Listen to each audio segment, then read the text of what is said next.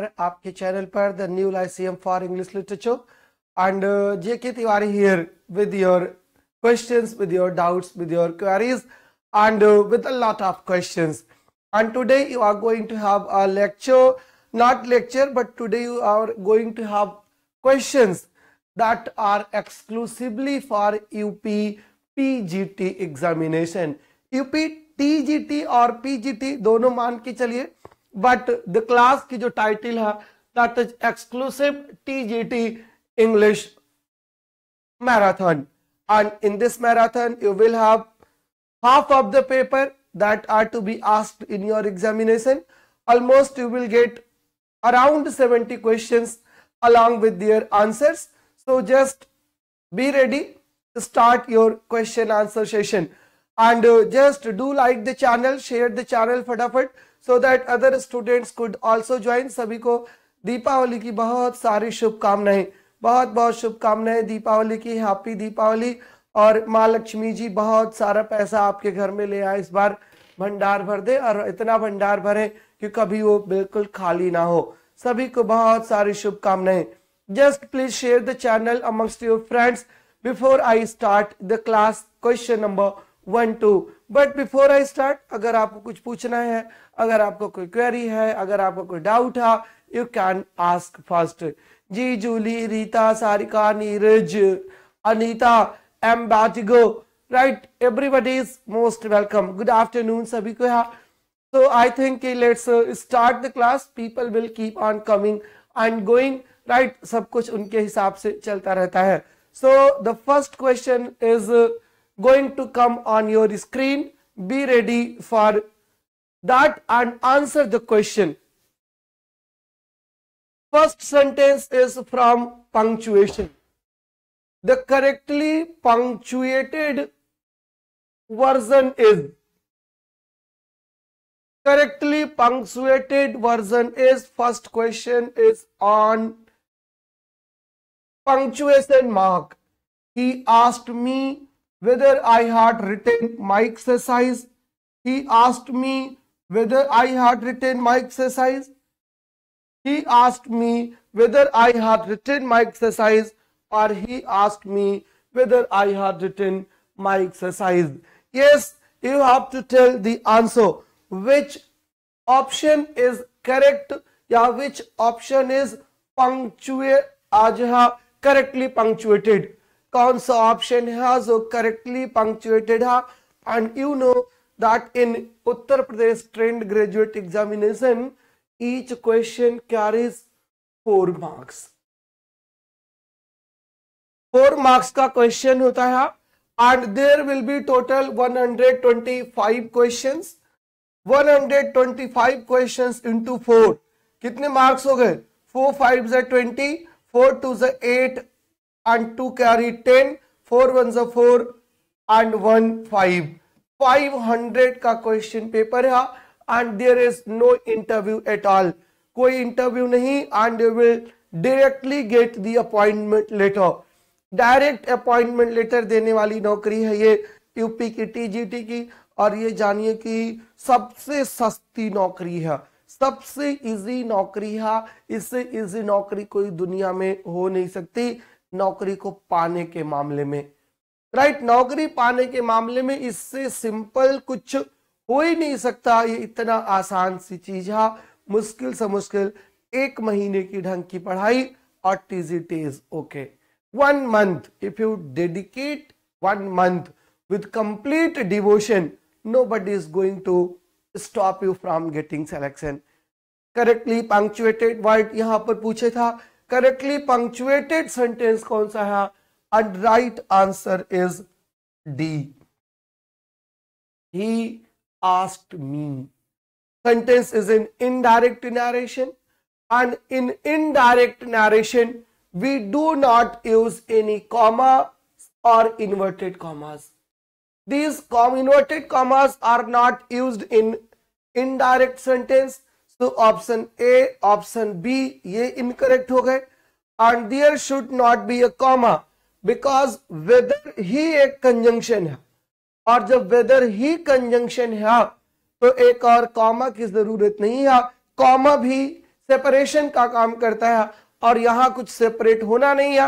And that's why the right answer is D he asked me whether I had return my exercise this is grammatically punctually correct statement punctually correct sentence All right. Question number 2 Question number 2 from your vocab section.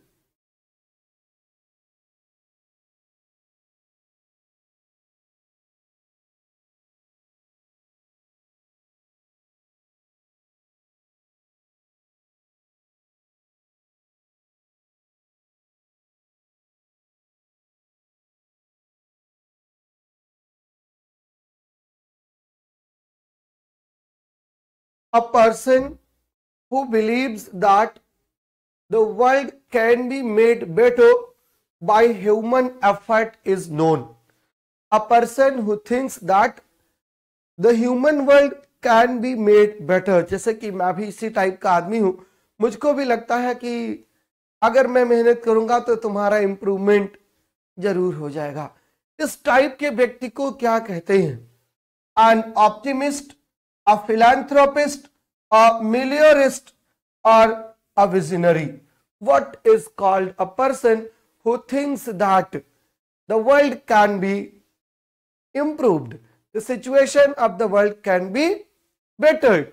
और उस बंदे को बोलते हैं क्या उस बंदे को बोलते हैं एमिलियोरिस्ट उस बंदे को एमिलियोरिस्ट कहा जाता है राइट आंसर इसका सी है and who is known as ameliorist, right? Thomas Hardy is called an ameliorist. Thomas Hardy is called an ameliorist. He thinks that the world can be improved. World को improve किया जा सकता है इसे बोलते हैं एमिलियोरिस्ट राइट आंसर सी और लगभग आपने सबने गलत आंसर कर दिया है ऑल मोस्ट। कुछ लोगों ने तो चेंज भी किया है। Right, the real answer, the right answer is ameliorist and optimist is one who thinks always positively. A philanthropist is one. देखिए, फिल का मतलब होता है लव। फिल मीन्स होता है लव। और एंथ्रोप का मतलब होता है ह्यूमन। जो ह्यूमन बीइंग को लव करे, उसे कहते हैं फिलेंथ्रोपिस्ट और जो ह्यूमन बीइंग को हेट करे, उसे कहते हैं मिस एंथ्रोपिस्ट राइट उसे कहते हैं मिस एंथ्रोपिस्ट जो ह्यूमन बीइंग को हेट करता है वो मिस एंथ्रोपिस्ट होता है. जैसे हमारे एक स्टूडेंट भी, है, जैसे मैंने ढाई बजे की क्लास लगा दी, तुरंत मैसेज आया कि बहुत बुरे आदमी हो आ, दोपहर में क्लास लगा दी। मैं अगर कह दूँ, मैं सुबह ग्रामर की क्लास लूँगा। बहुत बुरे हो। सुबह कौन कौन उठता है? सुबह कौन सो करके उठता है? ऐसे लोग मिस एंथ्रोपिस्ट कहे जाते हैं। है ना, वो दूसरों का भला कभी नहीं सोचते। हमेशा अपने भले के हिसाब से काम करते हैं। विजनरी कौन होता है? विजनरी वो होता है जो फ्यूचर की चीज़ों को पहले ही सोच लेता है। फ्यूचर की चीज़ों को पहले ही समझ लेता है। उनको विजनरी कहा जाता है। और एमिलियोरिस्ट वो होता है one who thinks always positively कि the world could be bettered the world could be improved all right ji Rinki ji happy Diwali happy वाली Diwali. Thank thank you Ashok ji good afternoon कैसे हैं? और आपको भी। हैप्पी दिवाली, अजय मिश्रा को भी। Which of the following sentences is correct? Out of the four sentences which one is grammatically correct this is the question tell me where do you live ये sentence correct है tell me where you live ये tell me you live where tell me where you live which sentence is correct बताइए option which sentence is correct out of the four बहुत छोटा सा sentence दिया है। बहुत छोटा सा, इससे छोटा सेंटेंस शायद ही हो। और आपको बताना है out of the four which one is correct correct कौन सा है?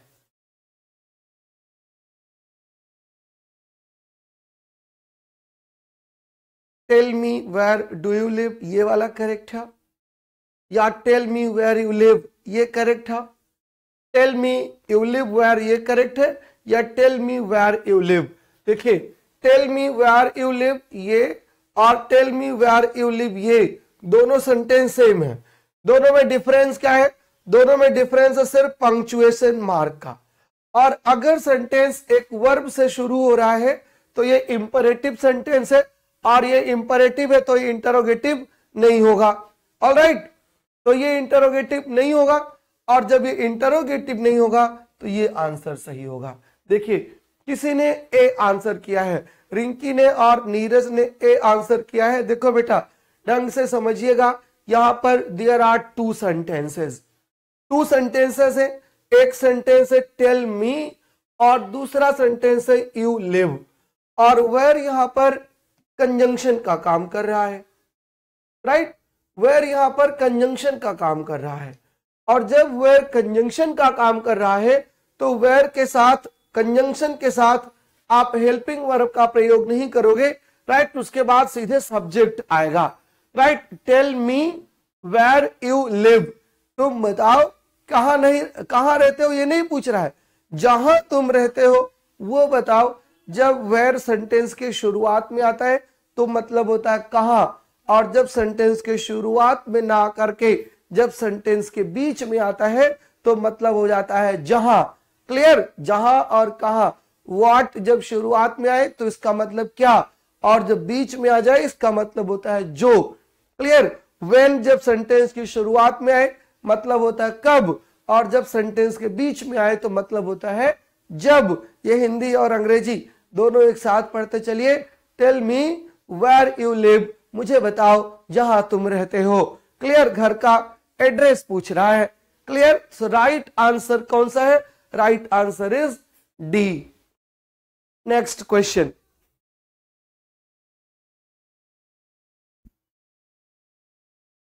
choose the word which is closest in the meaning to the word aphorism और वर्ड क्या है ये? Choose the sentence which is closest in the meaning to the word aphorism aphorism का मतलब यहाँ पर क्या है? अच्छा जूली भूल गई थी कि आज हैप्पी दिवाली है। चलो, मुझे याद था, इसलिए मैंने पहले बता दिया था। जी थैंक यू सोनू। नमस्ते, Anishka.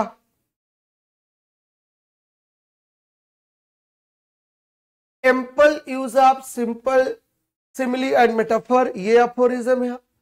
Indirect way of saying something embarrassing I speech और राइटिंग ग्लोरीफाइंग समथिंग और someone short phrase that says something true और वाइज कौन सा ऑप्शन सही है?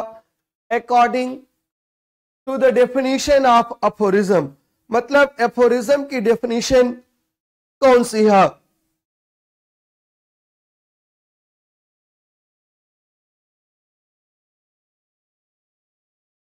Definition of aphorism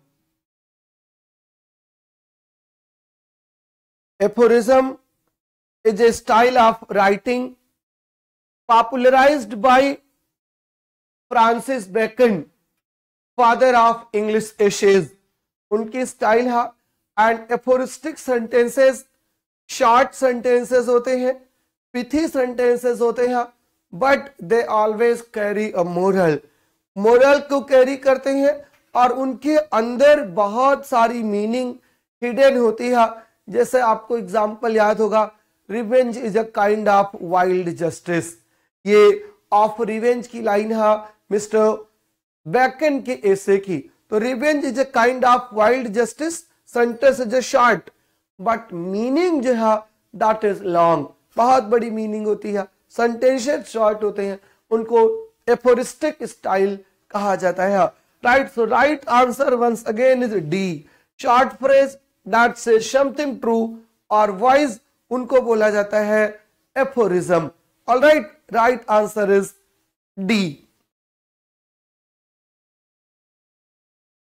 next question from Macbeth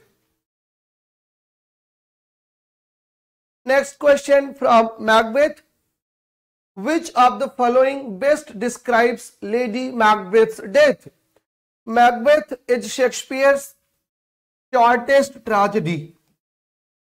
Macbeth is Shakespeare's shortest tragedy as far as lines are concerned. Number two, Macbeth is called a Scottish play. Macbeth is called uh, Scottish play or Bard's play. Bard's play. Number three, Macbeth was based on the gunpowder plot gunpowder plot that took place in 18 in 1605 in fact it did not take place it was hatched it was organized right to kill king james first of england right king james first of england के लिए gun powder plot बनाया गया था though the conspirators were called and executed और उसी पर Shakespeare based his play Macbeth right and macbeth is the shortest tragedy and fourth in the list of four great tragedies by william shakespeare and lady macbeth is suffering from a disease and the name of the disease is what is the name of the disease जिससे सफ़र कर रही है lady Macbeth who will tell कौन बताएगा किस बीमारी से परेशान है लेडी मैकबेथ बोलिए फटाफट the name of the disease जिससे लेडी मैकबेथ परेशान है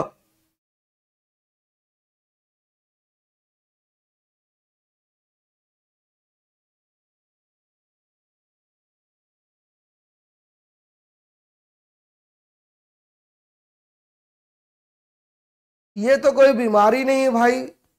स्लीप वॉकिंग जो आपने लिखा है, देखिए, सारिका ने लिखा है सही जवाब।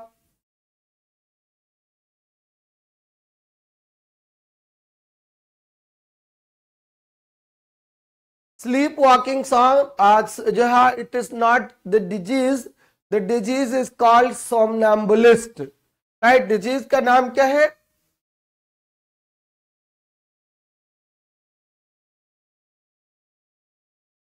Somnambulism.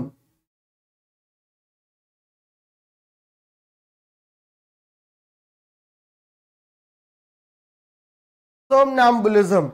सोमनी का मतलब होता है नींद और एम्बल का मतलब होता है वॉक जो नींद में वॉक करे, वो सोमनैम्बुलिस्ट होता है. सोम का मतलब होता है नींद. याद रखिएगा. वर्ड होता है इंसमानिया जिसको नींद ही ना आती हो, उसको इंसमानिया कहते हैं, हो गया है. वैसे हमारे यहाँ कहते हैं लवेरिया हो गया है, नींद नहीं आ रही है उसको। ठीक है, वो इंसमानिया है सोमनैम्बुलिस्ट वर्ड होता है स्लीप वॉकर और कुछ लोग होते हैं जो सोते सोते बड़बड़ाते रहते हैं, बातें भी करते रहते हैं, उनको क्या बोलते हैं? जो one who talks in sleep one who talks in sleep उसे क्या कहते हैं? सोमनीलोक्वेंट सोमनीलोक्वेंट मीन्स बात करना नींद में सोमनेम्बलिस्ट मीन चलना नींद में आज स्लीप वॉकिंग जो है वो लेडी मैकबेथ को है the name of the disease is somnambulism right next question right and she dies of stress. Answer to the question is d. Question number 6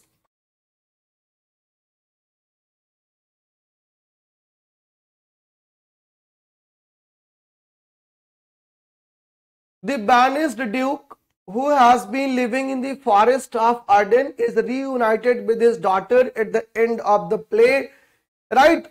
And uh, who is the banished duke? Banished duke is Duke Senior and the play is a pastoral comedy. Right? The play is a pastoral comedy and pastoral comedy is one which is set in forest. The characters जिसके यहाँ वो rural characters होते हैं। Sheep shepherds goat herds cow herds होते हैं and they speak in simple language right and it खासकर Shakespeare के place में वो प्रोज में बातें करते हैं। राइट right, वो पास्टोरल कॉमेडी है। राइट कौन सी पास्टोरल कॉमेडी है शेक्सपियर की?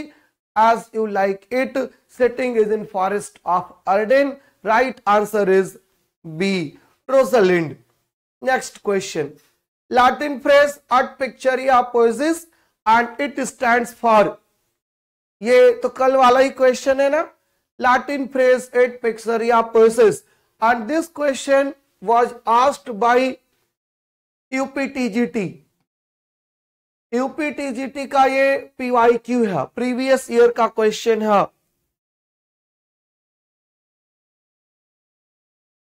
Latin phrase ut pictura poesis stand for as is painting so is poetry बिल्कुल रटे रहिएगा, तुम्हारे पेपर में कूद पड़ेगा ये।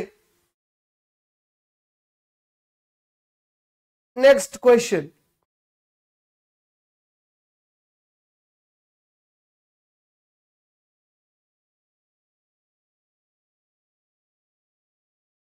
I had a sister whom the blind waves and search have devoured.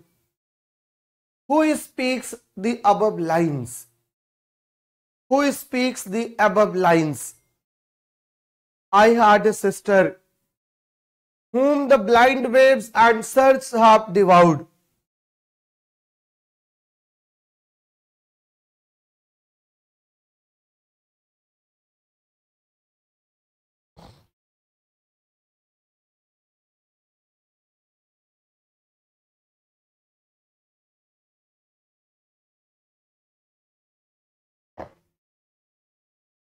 बोलिए राइट आंसर क्या है?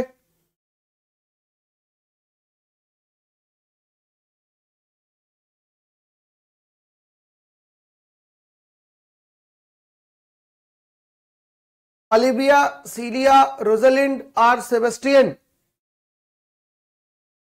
The right answer is Sebastian Sebastian had sister whom the blind waves and search have devoured, it is his assumption.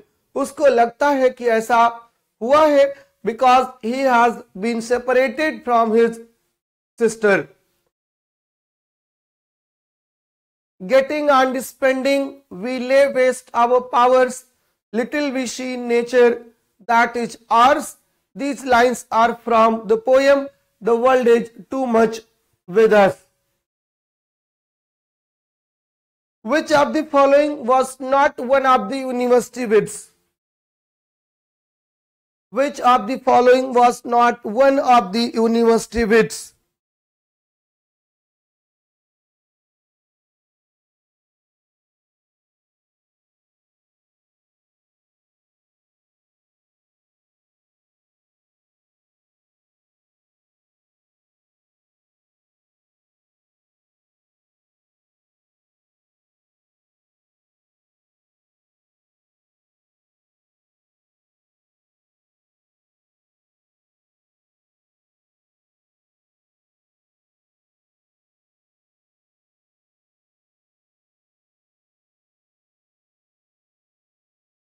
Robert Greene, William Shakespeare, George Peele, Thomas Kidd.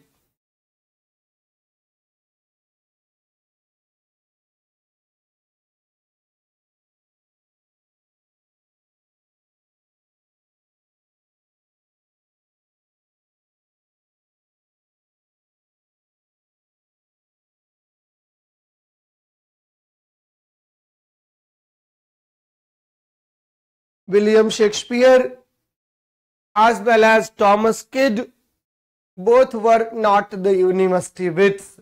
But इसके बारे में आपको मैंने बताया था कि जब किड के अलावा कोई ऐसा नाम दिया हो जो कंसीडर ना किया जाए यूनिवर्सिटी बिट में तो आप किड को यूनिवर्सिटी बिट मान लेंगे और शेक्सपियर को आप बाहर कर देंगे।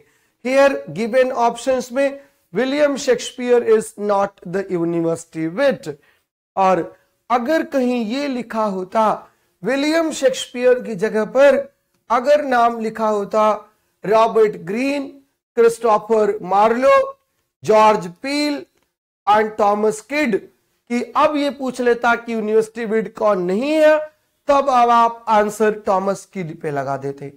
But if apart from the university wits के जो लोग हैं उनके अलावा किसी और का नाम दिया है तो किड यूनिवर्सिटी मान लिया जाएगा, और शेक्सपियर, बेन जॉनसन या जो भी अलग दिया हो, उसको हटा दिया जाएगा।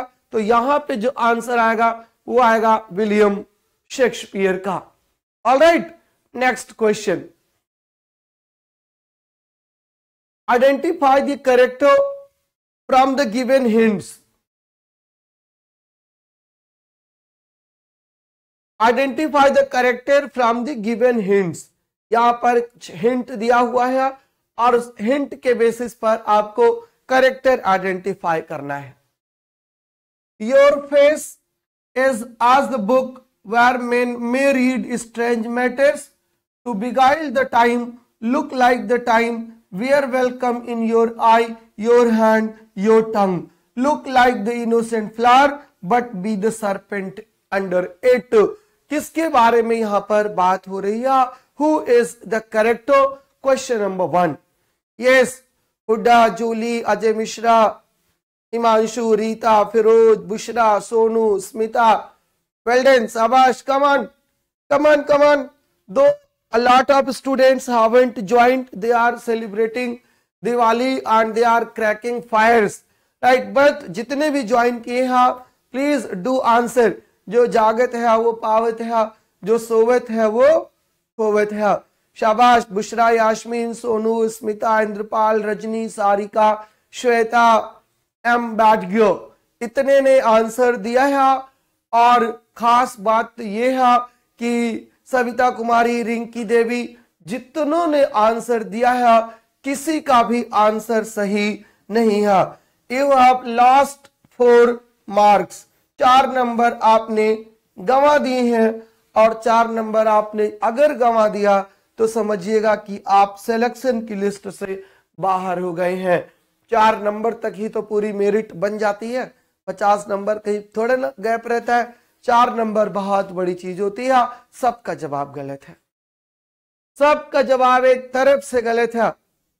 वेल्डन नहीं बोला हूँ तब भी गलत है। और जो करेक्ट जवाब इस क्वेश्चन का है वो क्या है?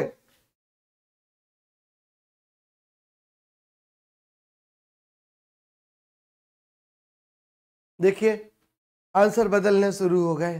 समझ आ गया ना कि क्यों गलत है आपका? समझ आ गया कि नहीं?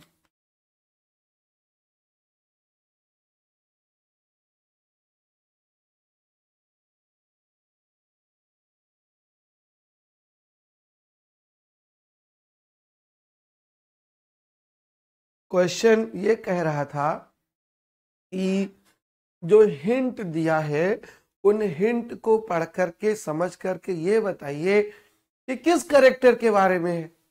यही था ना? Identify the character from the given hints character को पहचानिए गिवन हिंट से, और यहाँ पर गिवन हिंट क्या है? योर फेस तो आपको यही पहचानना है ना? हुज फेस नहीं, कह रहा है कि is a book where man may read strange matters ऐसा व्यक्ति है वो, जिसके चेहरे से लोग दिल की बातें पढ़ सकते हैं। ऐसा व्यक्ति हाँ उसको समझाया जा रहा है कि तुम कैसे बनो तो किसको समझाया जा रहा है? किसको समझाया जा रहा है? लेडी मैकबेथ को समझाया जा रहा है क्या? नहीं ना, लेडी मैकबेथ इनफैक्ट समझा रही है। किसको समझा रही है? लेडी मैकबेथ समझा रही है मैकबेथ को। मैकबेथ वो करेक्टर है जो यहाँ पर आंसर है identify the character from the given hints और गिवन हिंट से आप मैकबेथ पर पहुंचोगे नॉट लेडी मैकबेथ पर। क्लियर हुआ कि नहीं?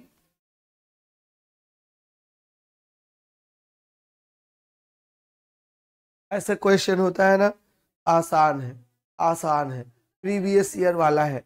और उस आसान आसान के चक्कर में ना बह जाते हो आप। और जैसे बह जाते हो, वैसे गड़बड़ हो जाता है। अजय जी ने देखो लिखा है, गच्चा दे दिया क्वेश्चन ऐसे ही क्वेश्चन गच्चा देता है, भैया, तैयार रहा करिए। आग का नाक खोल करके, नाक भी राइट सब खोल करके पेपर में बैठा करिए। बिल्कुल भी जल्दबाजी में मत रहा करिए। ऐसे ऐसे करके आँख उठी, आँख खोल करके सोकर उठे और आंसर टिक कर दिया और क्लियर हो गया सिलेक्शन हो गया। नहीं ना, वो पेपर दो घंटे का नहीं होता, वो लाइफ टाइम अचीवमेंट होता है। जितना जीवन का आपका अनुभव है, जितना आपका संघर्ष है, सब एक साथ काम आता है वहाँ पर। तब एग्ज़ाम जाके क्लियर होता है। चलो, अब इस बात को ध्यान रखते हुए अगले क्वेश्चंस को सॉल्व करिएगा।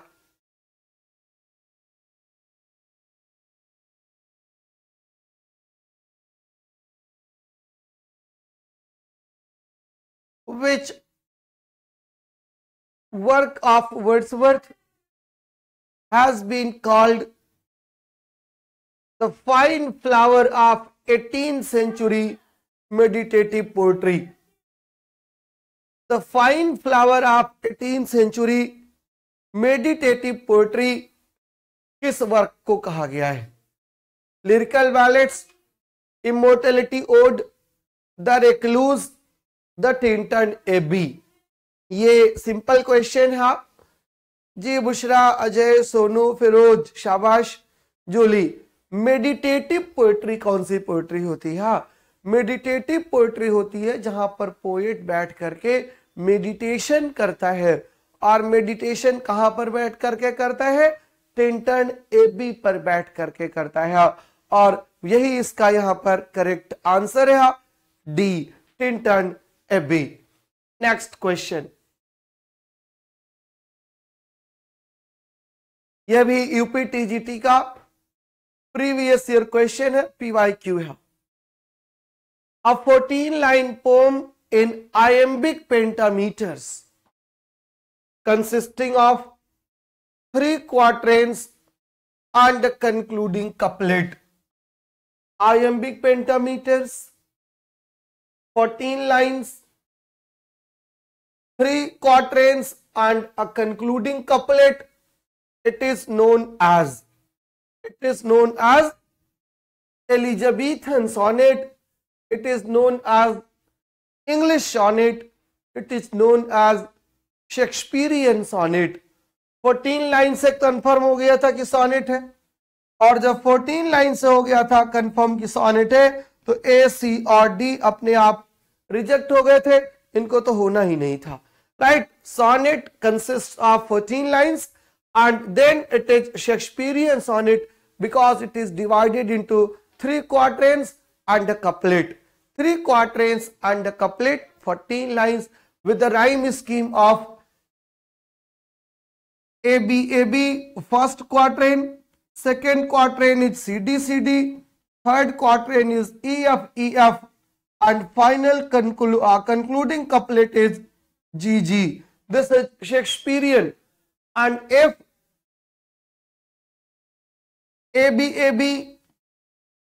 BC CD CD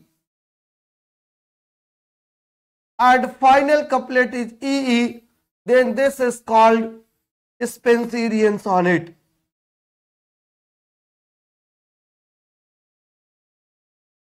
Spenserian sonnet is also divided into three quatrains and couplet three quatrains and couplet यहाँ पर भी होता है स्पेंसिरियन में बट राइम स्कीम जो है, वो क्वार्टरेंस इंटरलिंक्ड होते हैं।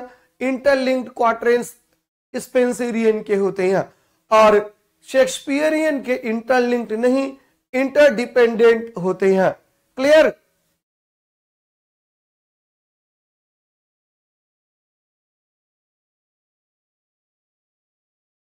चलिए नेक्स्ट क्वेश्चन पर आते हैं fourteenth find out the figure of speech in he received a mortal wound he received a mortal wound find out the figure of speech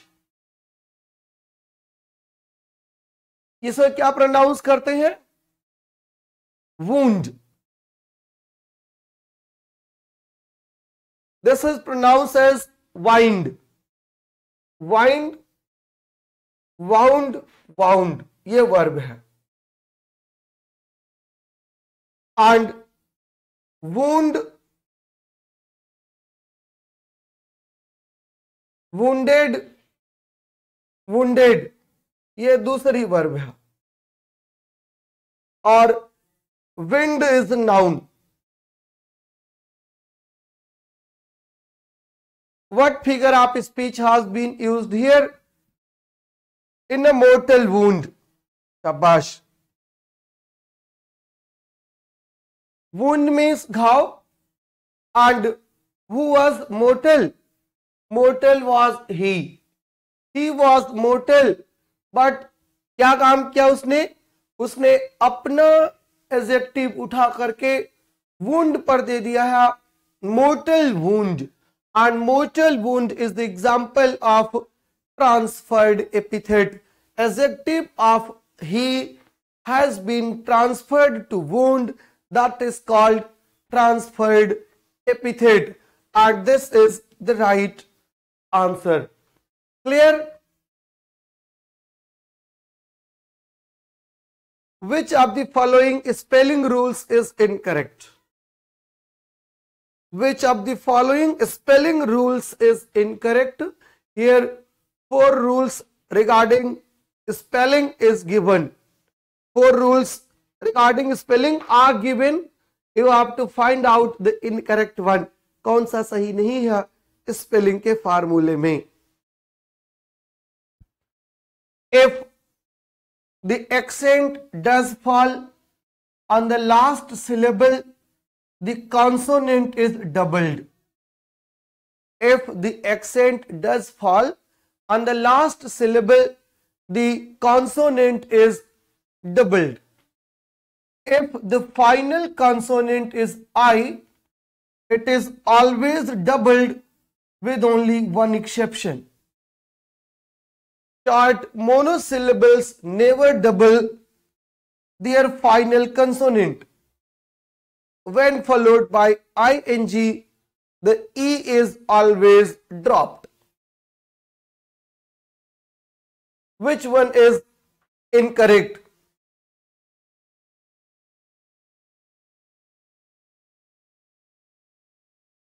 which one is incorrect regarding the spelling formula ji Shripati ji happy Diwali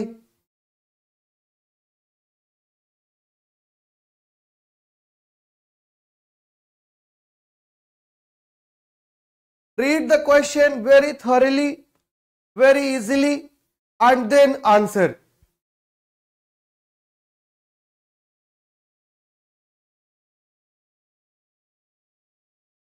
short monosyllables never double their final consonant. The, if the final consonant is I, it is always doubled with only one exception. Alright, and this formula is incorrect. This formula is incorrect. Rest of the three formulas are correct. Right, rest of the three formulas regarding spelling is correct the one is incorrect if the final consonant is i it is always doubled पहली बात तो consonant आई होता ही नहीं है आई Wavell होता है Next question. To take the bull by horns. To take the bull by horns. What is the meaning of this phrase?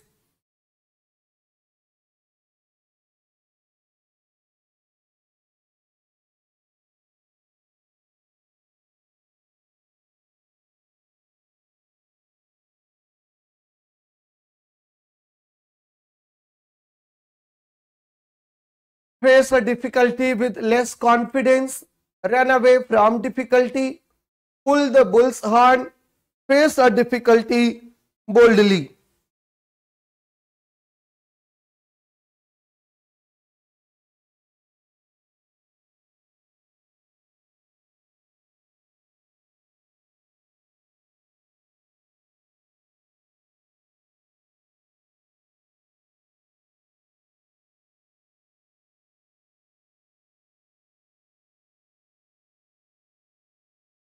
What is the right answer? Shabash.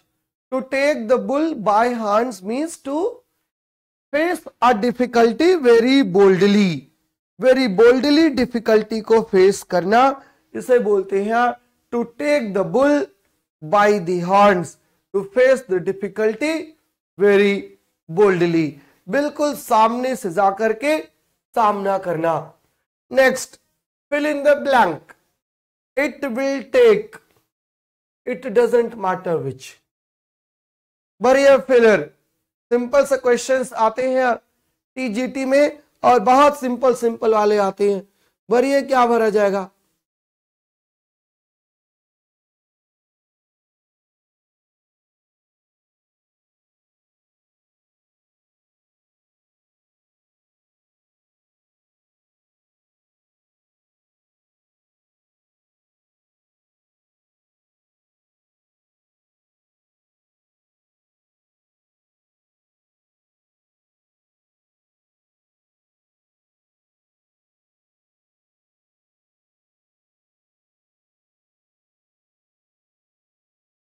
Neither, either, the best and none of the above.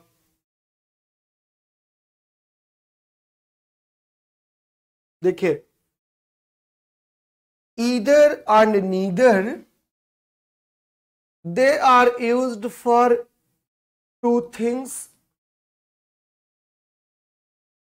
or two persons either is used in positive and neither is used in negative. Right? Neither is used in positive negative and either is used in positive. The best is used for three. Out of three you have to tell the best. Right? Out of the three you have to pick the best. And if there are only two then you have to choose the better one right you have to choose the better one the sentence is in positive it will take it doesn't matter which कोई मतलब नहीं चाहे जो ले लीजिए दो है आप दो में से आपको एक पिक करना है so it will take either right कोई सा भी एक ईदर मीन्स कोई सा भी एक और नीदर मीन्स कोई सा भी नहीं तो ईदर एंड नीदर का डिफरेंस है यहाँ पर जो राइट आंसर है it will take either it doesn't matter which कोई सा भी ले लेते हैं, काम चल जाएगा। All right next question Julie don't divert your attention all right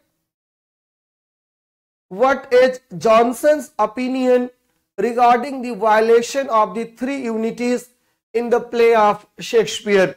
This is Archak's question, Sada hua. Alright, what is Johnson's opinion regarding the violation of three unities in the plays of Shakespeare? I discussed this question even yesterday. Which one is the right option?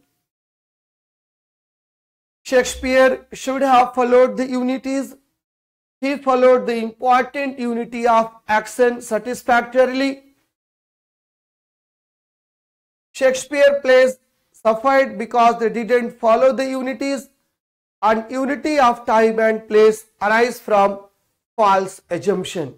Right? Unity of time and place arise from false assumption as they were attributed by Italian and French critics. Unity of time and unity of place were attributed to Mr. Aristotle by the French and Italian critics. Aristotle only talked about, right? Aristotle only talked about unity of action and Shakespeare uses unity of action beautifully. All right. Next question. The phrase loud color is an example of.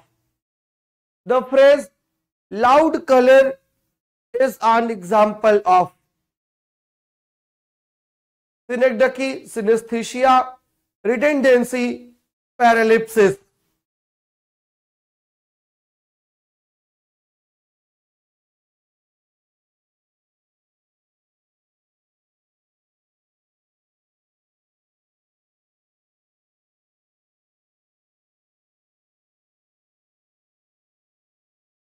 शाबाश।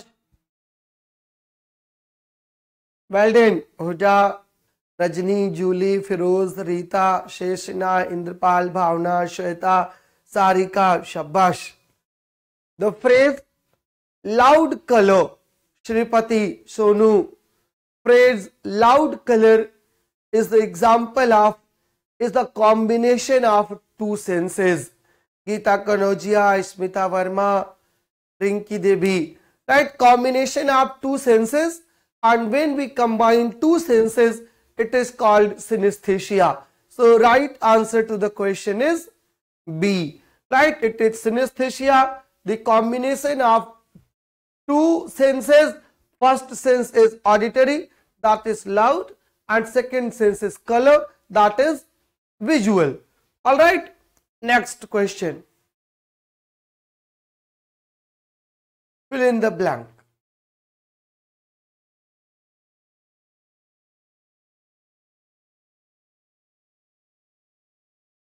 This one is of the two. This one is of the two. Now, two things are there and of the two, one is good best, better. Shenisha Bihan you are running too late right आपकी train बहुत पीछे है। Just click the button of live and you will directly come to me direct आप हमारे पास आ जाओगे। Clear नहीं। नहीं आ सकता best Bhavna. Because only two things are being talked of. Fill in the blank. This one is, this one is the better of the two. Right? This one is the better of the two. Right? C is not the correct answer. Huda, Smita, Indrapal, Bhavna, Neeraj. Right? Firoz Khan. Right answer is D. This is uh, this one is the better of the two. When we use better to make a choice, right? When we use better to make a choice, तो हम the better का use करते हैं simple better का नहीं simple better is use when we compare two dissimilar when we compare two things जैसे Archak is better than I right Archak is better than I This is the comparative degree. And when you have to choose between I and Archak, then I will say Archak is the better than I. Right? Archak is the better. जब choose करने की बात करेंगे तो हम the का use करेंगे और जब हम कंपेरेटिव डिग्री की बात करेंगे तो हम विदाउट आर्टिकल बात करेंगे right Archak is the better of the two and I am या Achak is better than I clear we use the better for a choice not only better clear right answer is D फिर थोड़ा सा जल्दी किए और फिर grammar ले डूबा। Next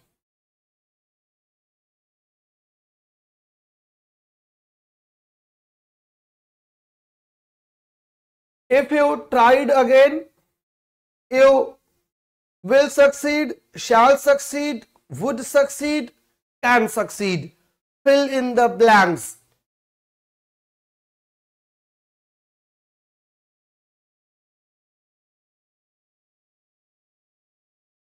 If you tried again, you dot dot dot fill in the blank. जी, अजय, रीता, इंद्रपाल, सोनू, स्मिता, एम, बाजीगर, बुशरा, जूली।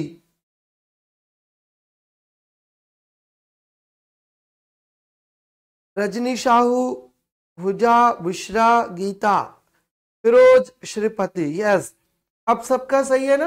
अब देखिए tried is in the past tense and if first half of the sentence is in past तो हम सेकेंड हाफ़ ऑफ़ देंटेंस को भी past में ही रखते हैं। Will shall and can they are generally use with present and would is use with past so right answer to the question is C if you tried again you would succeed ये hypothetical sentence है right hypothetical है। अगर आप दोबारा ट्राई करें तो सफल होंगे राइट right आंसर जो है ट्वेंटी सेकेंड का that is C All right. Next. Which of the following plays was detested by Coleridge? Which of the following plays was detested by Coleridge? Coleridge was a great admirer of William Shakespeare.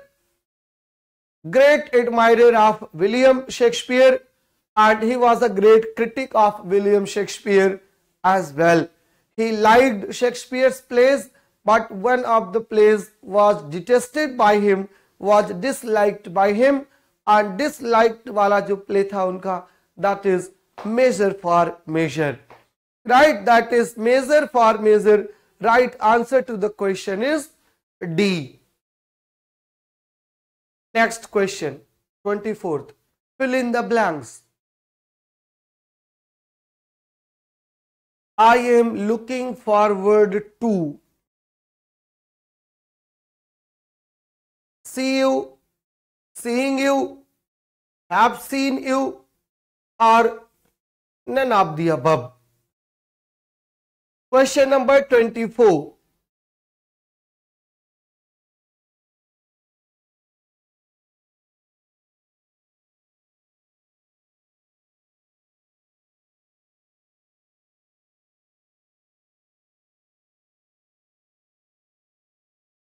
look forward to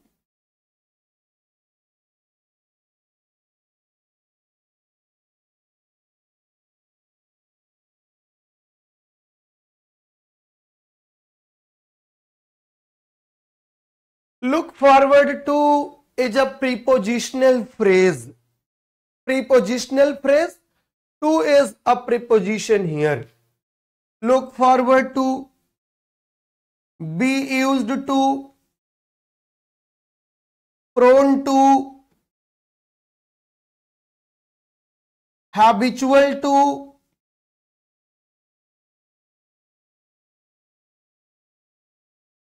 accustomed to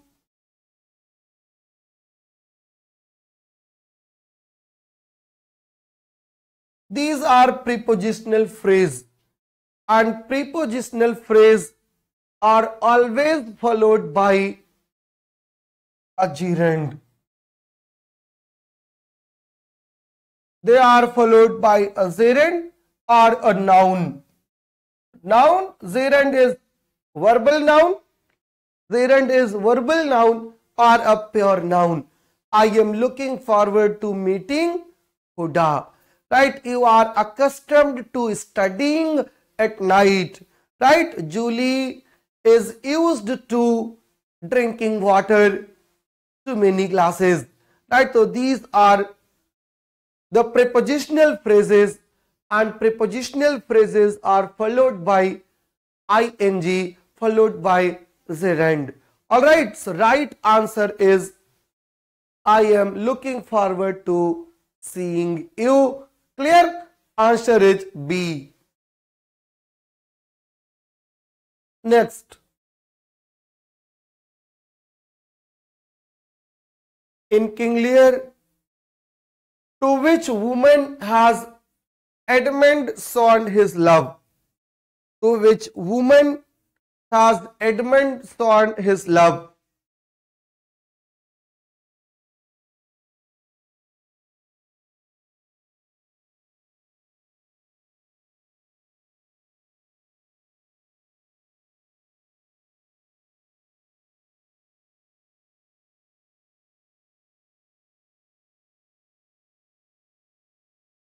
Yes, everyone is right here.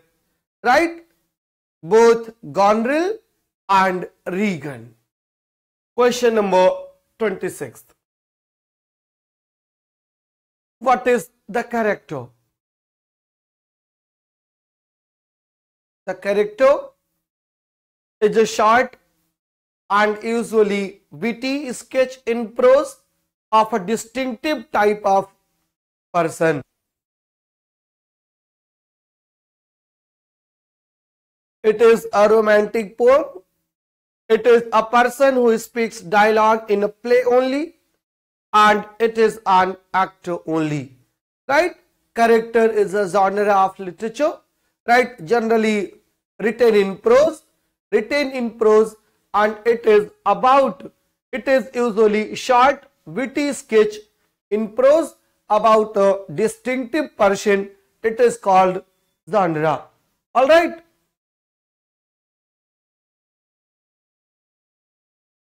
Next question. Archak, I do not have too many new questions. I request you to please send me a few new questions so that I could discuss them in the class. Please send me hundred or thousands new questions so that I can discuss them here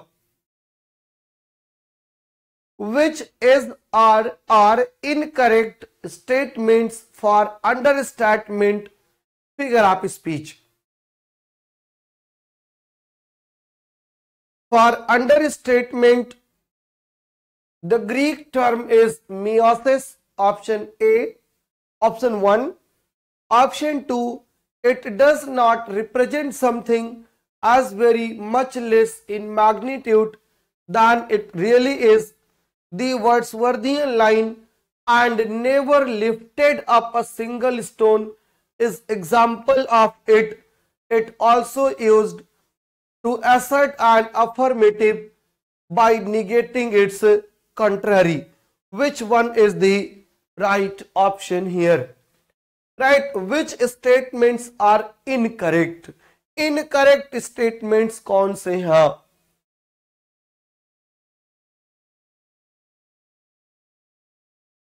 Second and fourth only second is incorrect only fourth is incorrect या first second and third are incorrect incorrect statements कौन से हैं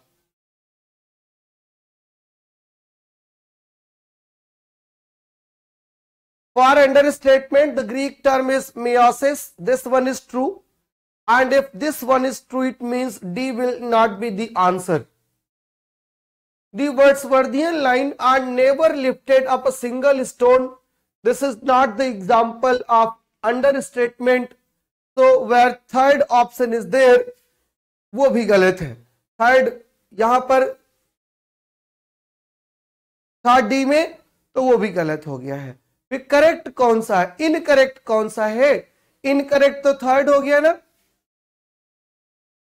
third incorrect हो गया। First correct है। Second के बारे में क्या मामला है?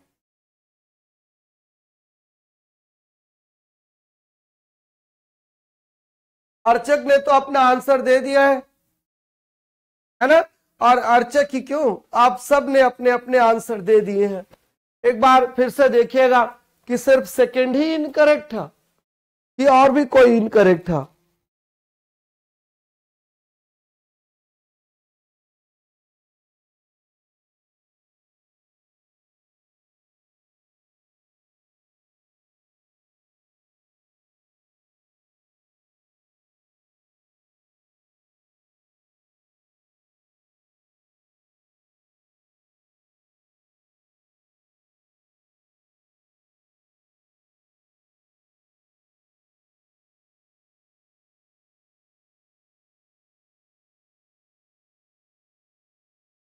चेक कर लिया ना।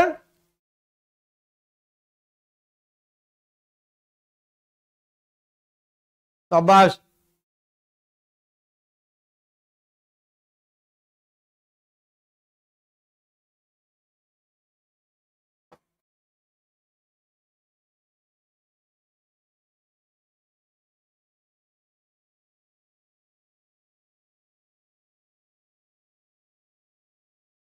Second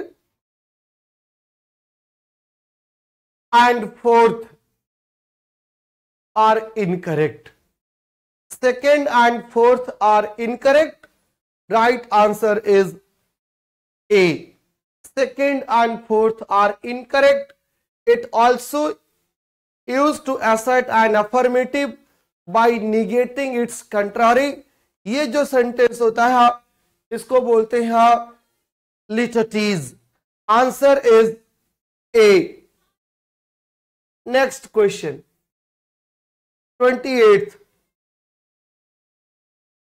the correct spelling correct spelling बतानी है out of the four only one is correct and which one is the correct spelling of accumulate correct spelling of accumulate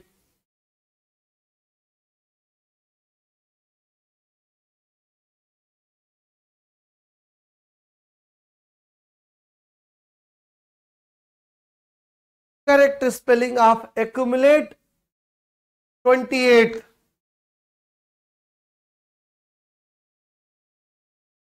wow great. Obviously c. Wow adbhut but it's not obviously c it's obviously incorrect. The right spelling of accumulate is a. Right spelling of accumulate is a not free minded. Next question.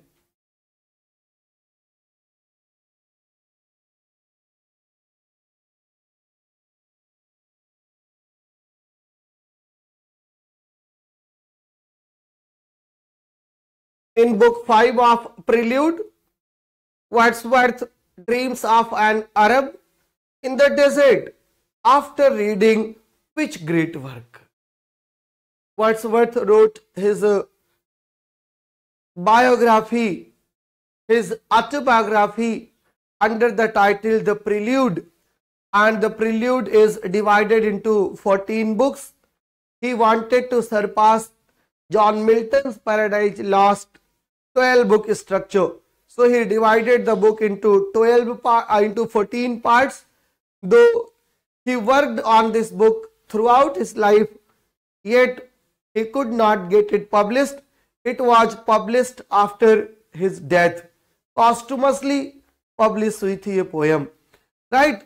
And uh, in the book number 5, Wordsworth was reading a work written by Cervantes and the name of the work was Don Quixote and Don Quixote inspired him to dream a character from Arab. So right answer to the question is here A. It was Cervantes Don Quixote which inspired him to envision an Arab character. Right answer, clear answer is A. Okay. Next question.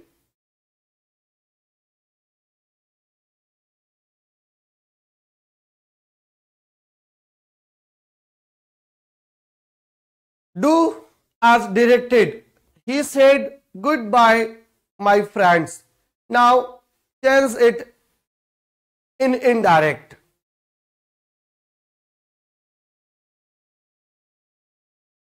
Goodbye, my friends. He said goodbye to his friends. He said his friends goodbye. He bade goodbye to his friend. He addressed his friend to bid goodbye, none of the above. Question number 30.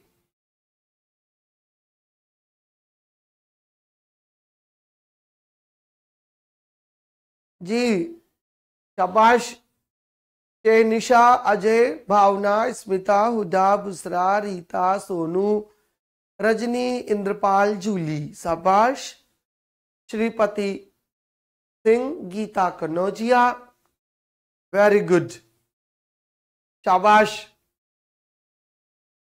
Well done good तेज हो ना आप? Brilliant and I have students who could solve questions even faster than Achak. All right शाबाश इंद्रपाल रजनी सोनू गीता फिरोज कोई बाकी तो नहीं बचा है? कोई नहीं, बाकी है ना? सबका करेक्ट हो गया है। चलिए, सबका करेक्ट है तो अगर डी उत्तर लगाए तो गलत हो जाएगा क्या? मैं तो डी के साथ जाना चाह रहा हूँ। I wanted to click the how many of you are with me मेरे साथ है कोई आप में से? नहीं। कोई मेरे साथ हो तो हैंड रेस करिएगा। देखो मेरे सपोर्ट में कितने लोग हैं।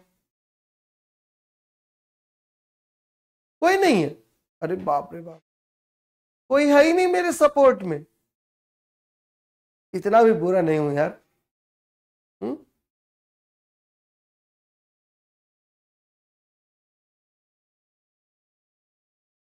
जो आपने आंसर किया है ना, उस पर एक बार फिर से सोचिएगा। देखिए thank you Rajni. Thank you for being with me ji second one is एम्बादिगो एम्बादिगर आपका रियल नेम क्या है? सारिका भी मेरे साथ है और जूली भी।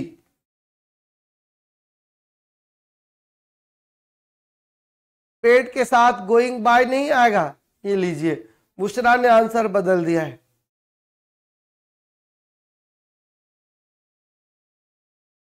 उपासना मेरे साथ है। वाह, अजय भाई ने तो बिल्कुल पॉलिटिकल आंसर दे दिया है।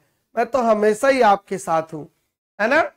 देखो, मान लेते हैं कि आपका आंसर सही है। मान लेते हैं सही है। यद्यपि आपका आंसर सही है नहीं, और इनमें से कोई आंसर सही नहीं है आंसर डी होना चाहिए था। आपका फार्मूला बिल्कुल सही है कि good bye, good morning, good night के लिए हम बेड का प्रयोग करते हैं, बिड का प्रयोग करते हैं और सेकेंड फॉर्म बेड हो जाता है।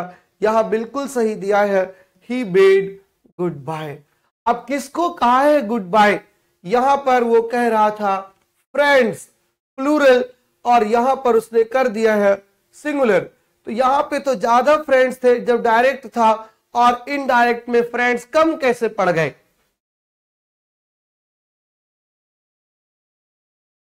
तो जब डायरेक्ट सेंटेंस दिया था तो मेनी फ्रेंड्स की बात हो रही थी और जब इनडायरेक्ट हमने उसको बनाया तो हम फ्रेंड्स तो नहीं घटा सकते ना नाउन को हम चेंज भी नहीं कर सकते। इसलिए यहाँ पे जो आंसर होना चाहिए, वो नन ऑफ़ दी अब होना चाहिए। Answer none of the above होना चाहिए। अब आप ये भी कह सकते हैं कि ये प्रिंटिंग मिस्टेक है और एक्चुअली ये क्वेश्चन यूपी पीजीटी का है। दिस क्वेश्चन जो है, ये यूपी पीजीटी का क्वेश्चन है और यही क्वेश्चन आया हुआ था पेपर में राइट right? यही क्वेश्चन पेपर में आया हुआ था। So you have to keep in mind if none of the above option दिया है so that is the greatest and biggest option उस पर भी आप एक बार सोच लिया करिए। ठीक, उस पर भी एक बार सोच लिया करिए। हुआ क्या था, बाद में क्वेश्चन नील हो गया था। क्वेश्चन नील हो गया था। मतलब किसी भी ऑप्शन को उन्होंने करेक्ट फिर नहीं माना और सबको मार्क्स इक्वली डिस्ट्रीब्यूट कर दिए थे। बट ऐसी गलतियाँ होती हैं और उसकी सजाएँ स्टूडेंट्स को मिल जाती हैं। सोचो, आप बिल्कुल फार्मूला जानते थे। सब कुछ आपका सही था और यहाँ पर पेपर वाले ने गलत कर दिया बोर्ड ने, आयोग ने गलत कर दिया। सजा तो आपको मिल गई ना कि आपका चार नंबर जो सही था, वो तो घाटे में चला गया। और वो चार उसको भी मिल गया। जिसका कुछ नहीं सही था। आपको प्लस में होना था, वो हो गया। माइनस में ये चीज़ें होती हैं एग्ज़ाम में, इसको थोड़ा ध्यान रखना होता है। और ये जो क्लास आपकी मैं ले रहा हूँ ना, या जो आप कर रहे हो you are giving your time time दे रहे हो तो उसका कुछ तो बेनिफिट मिलना चाहिए ना। उसका एक्सपीरियंस तो मिलना चाहिए ना कि पेपर कैसे होता है। और हम आपको तैयार ही ऐसा कर रहे हैं कि जब आप एग्ज़ाम में जाएँ तो इस तरीके के जितने भी प्रास और कौन हैं सबको लेकर के जाए। जितने भी प्रॉस कौन सा जितने भी आप सोच सकते हैं, जितनी भी तरीके की गलतियाँ हो सकती हैं, सब आप पहले से जाने तो आप वहाँ पर गलत नहीं करेंगे। ऑल राइट चलो नेक्स्ट क्वेश्चन पर चलते हैं that is question number thirty first Now you have to change into direct speech. She asked us if we had anything to say. Sentence is in indirect and you have to convert it into direct. आपको भी भाई बहुत सारी शुभकामनाएँ, हरिओम जी। अरे ऐसा नहीं बोलते। You are my last hope and you are my first hope you are the ray of hope and you will certainly be a sun one day बस लगे रहिए।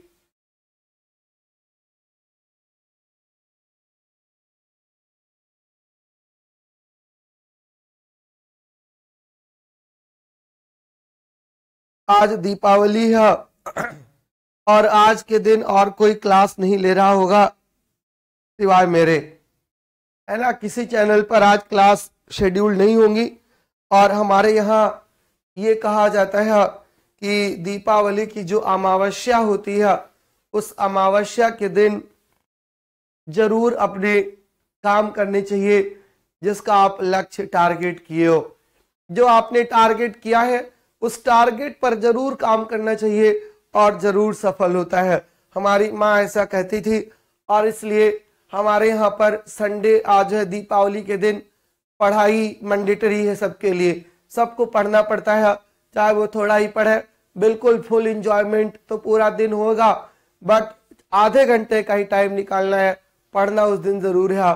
लक्ष्मी माँ सबकी मांगे पूरा करती हैं, जो दीपावली की अमावस्या के दिन पढ़ाई करते हैं, ऐसा मिथ्य है, ऐसा कहा जाता है।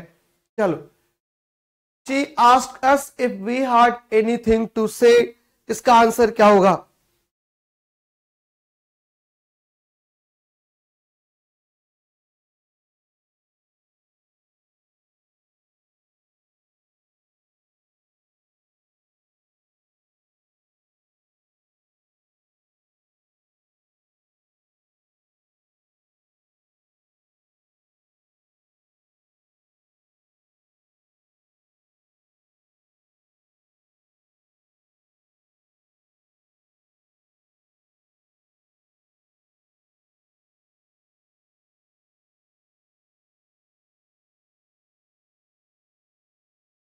इसकी टाइमिंग क्या है भाई? इसका आंसर बता दो टाइमिंग वाइमिंग किसकी पूछ रहे हो? She asked us if we had anything to say she asked us this is the part of reporting verb and this is the reported speech और इफ़ क्या बता रहा है?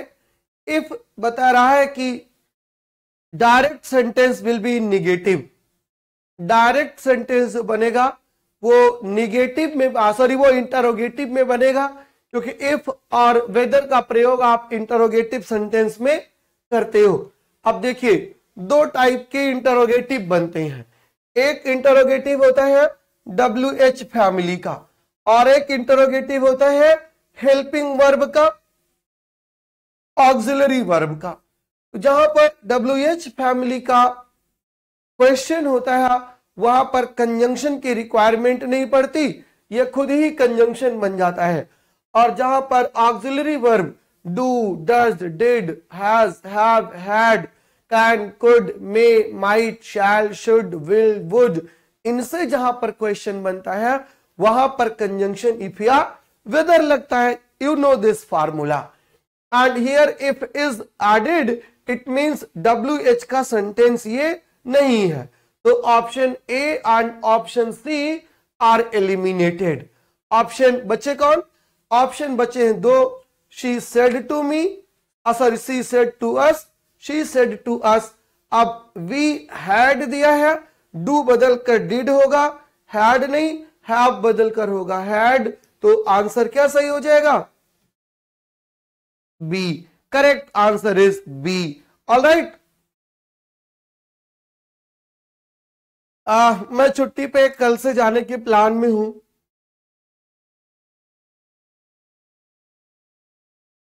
Next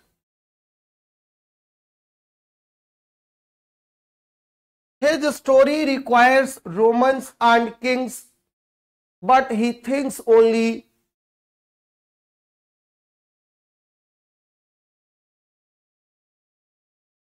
of man Right? His story requires Romans are kings, but he thinks only of men who remarked it for William Shakespeare.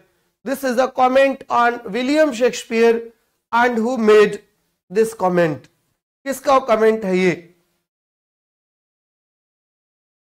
Ben Jonson Dryden Samuel Johnson और Matthew Arnold who made this comment अरे permanent नहीं जा रहा हूँ। Permanent नहीं जा रहा हूँ। I will come back very soon don't worry I will come back very soon and from Sunday to Sunday आज संडे की क्लास ले रहा हूँ। नेक्स्ट संडे फिर क्लास लूँगा। आप बिल्कुल टेंशन ना लें। Right his story requires romans or kings but he thinks only of men and right answer to the question is c this statement was by dr samuel johnson thank you archak for loving my class thank you so much I am grateful to you. Who called Shakespeare the largest and most comprehensive soul? Who called Shakespeare the largest and most comprehensive soul?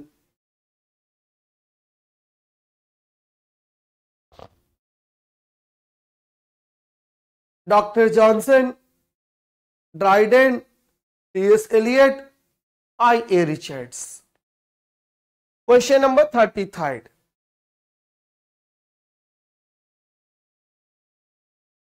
शाबाश, अजय, भावना हुजा रीता, फिरोज, बुशरा अचक Tarika right Shakespeare has the largest and most comprehensive soul and this was the statement made by john dryden right this is the statement of john dryden John Dryden appreciated William Shakespeare in his essay, essay on dramatic poesy and he described Mr. Shakespeare as having the largest and most comprehensive soul.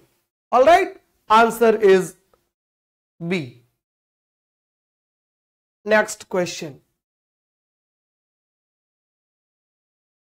Who wrote the book Shakespeare's Freedom?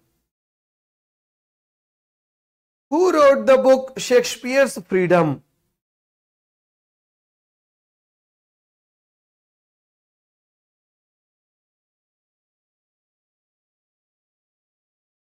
Stephen Greenblatt, Stephen Spendo, Louis Montrose, Zach Lacan. Who wrote the book Shakespeare's Freedom? Shabash. Very good. Shakespeare's Freedom is a book by whom Archak? Who wrote the book Shakespeare's Freedom? The book Shakespeare's Freedom was written by Stephen Greenblatt. Stephen Greenblatt and Louis Montrose, these two philosophers theorized, popularized the concept of new historicism and new historicists जो हैं they seek history through literature and especially they focus on Renaissance literature. Right, right answer is Stephen Greenblatt. Question number 35th.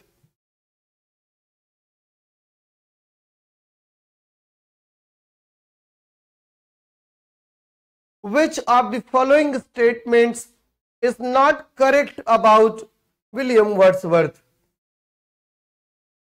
Which of the following statements is not correct about William Wordsworth? Wordsworth records that his earliest verses were a, were, were a tame imitation of Pope's versification. Throughout his life, he never wavered in his faith in himself and his immortality as a poet.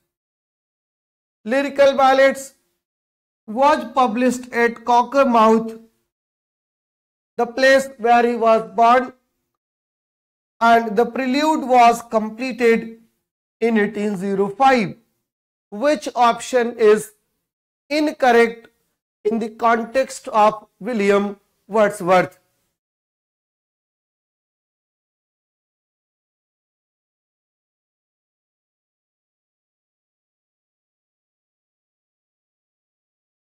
Wordsworth started his career as a poet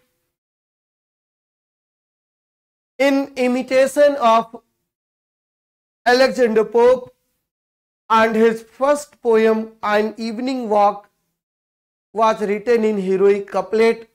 So option A is quite correct in the context of William Wordsworth. Option B is also correct Throughout his life, Wordsworth remained a true romantic poet and a true romantic spirit for the upcoming poets, for the following poets. Wordsworth left birth place when he was very young बहुत कम उम्र के थे, तभी उन्होंने birth place छोड़ दिया था। Right lived at several places and finally settled at Lake District और उस लेक डिस्ट्रिक्ट में ही उनकी दोस्ती हुई थी।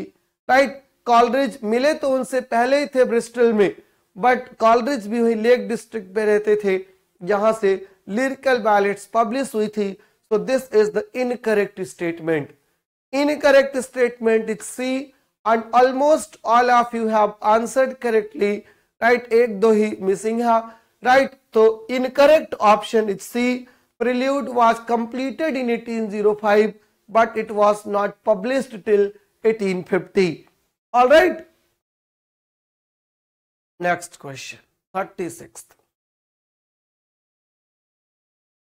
Which of the following rules is incorrect with reference to grammar? Grammar के रेफरेंस में कौन सा सेंटेंस ट्रू नहीं है two main clauses separated only by a comma cannot stand in English. When and is added to a pronoun governed by a preposition, the latter governs and precedes the relative pronoun also. Should with the second and third person means ought to.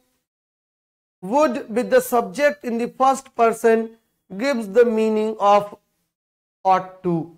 Which of the following rules on grammar is incorrect? कौन सा rule incorrect है grammar के बारे में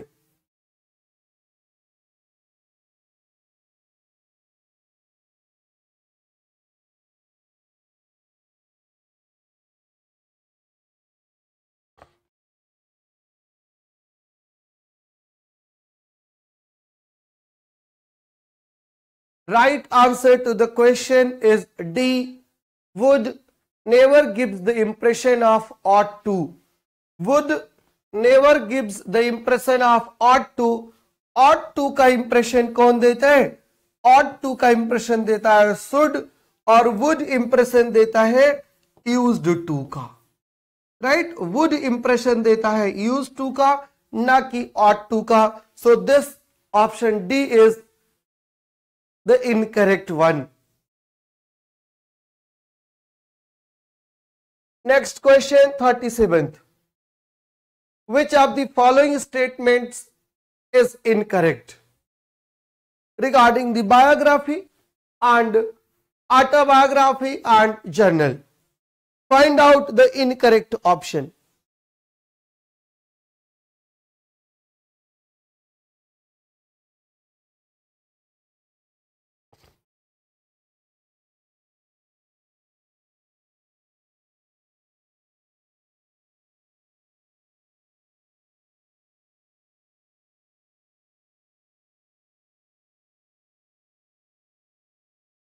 Shabash. Very nice. Everyone is correct.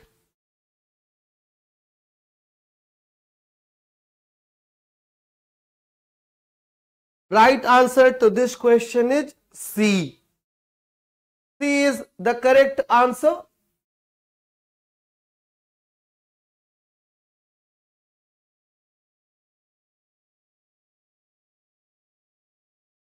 Next. What attributes of Shakespeare's characterization does Johnson admire in his preface to Shakespeare? Out of the four options, only one option is correct. What attributes of Shakespeare's characterization does Johnson admire in his preface to Shakespeare? The way his characters represent particular times and places, the way his characters exhibit quirks representatives of the humorous or professions, the way his characters portray the general passions and principles of human nature, and the way his characters portray real individuals. Right? Dr. Johnson admired William Shakespeare's characterization. Right? Because William Shakespeare's characters portray the general passion and principles of human nature. Right answer is C 39th. Nursery rhyme of the wasteland, London Bridge is falling down, falling down. Which is not correct statement for metonymy figure of speech. Which one is not correct statement regarding metonymy?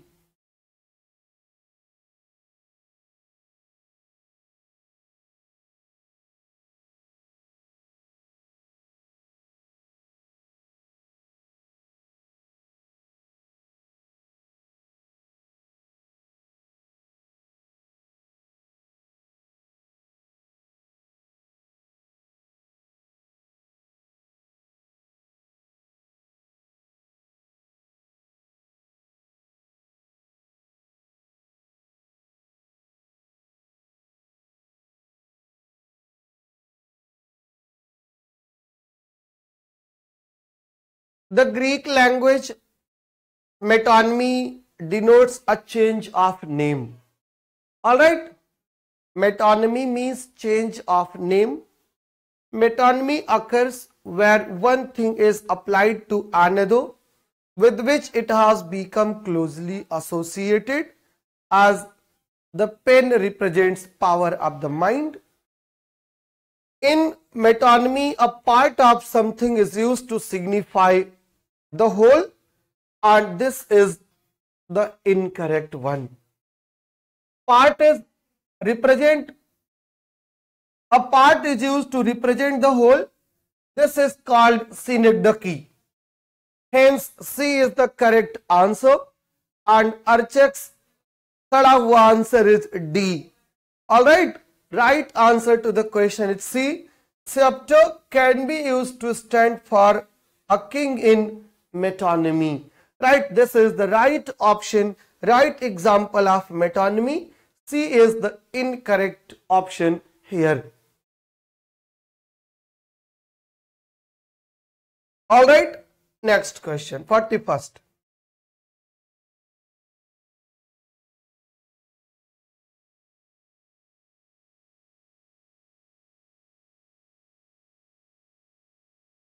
Fill in the blank.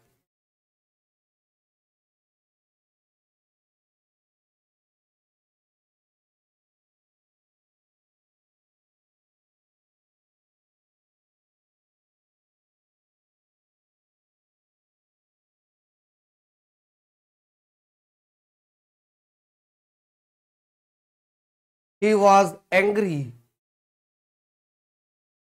But he listened to me patiently. When two contradictory statements are connected, we use the conjunction like yet, like but, like however. Here the right answer is but. Next question.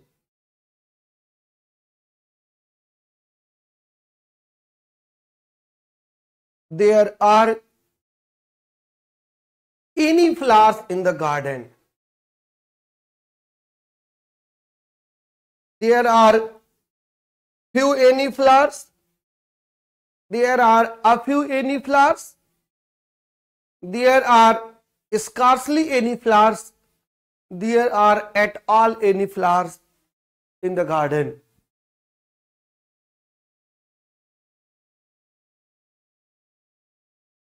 very simple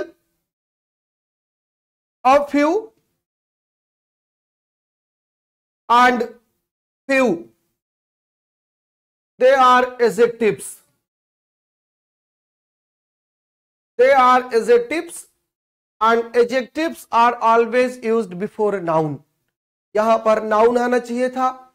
A few flowers or few flowers but यहाँ पर any flowers दिया है। And any यहाँ पर adjective हो गया है flowers का। तो एजेक्टिव का जो फॉलोवर होता है that is adverb scarcely is an adverb here there are scarcely any flower in the garden alright या there are hardly any flowers hardly and scarcely are used interchangeably. Right option is c. John Dryden's All for Love is an example of.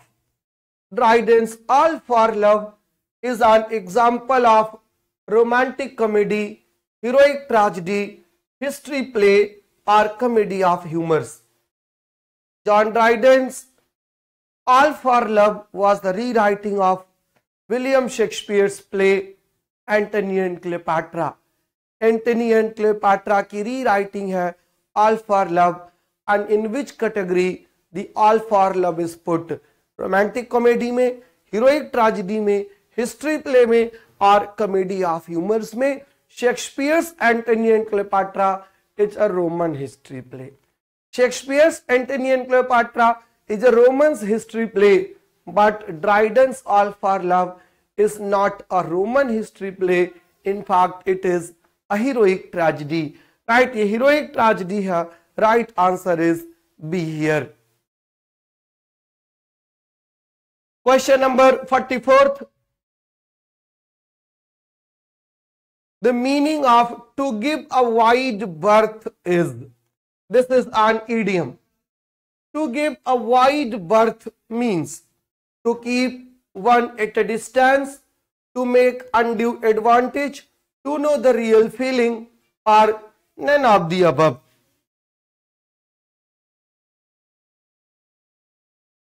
What is the correct answer? To give a wide berth. What is berth? B I B E T R T H. Berth means seat.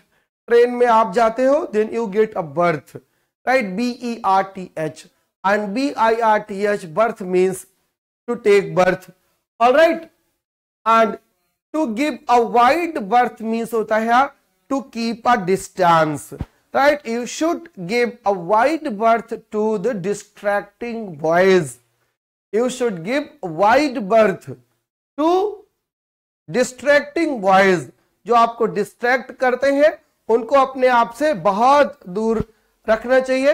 This is the meaning of the idiom and right answer is A to keep one at a distance all right ये typical UPTGT mark का question है। The terza rima is a stanza of the terza rima is a stanza of four lines five lines, three lines, two lines. अब जिसका ये भी जवाब गलत हो ना, जिसका ये भी जवाब गलत हो, उसके लिए मैं कुछ नहीं कहूँगा। तो खुद समझदार है है ना? चलो नेक्स्ट क्वेश्चन पर आते हैं। देखिए, आखिर अर्चक का गलत हुआ ना? सड़ा हुआ क्वेश्चन सड़ा हुआ जवाब। Apart from Archak everybody is true all right इसका आंसर है three line stanza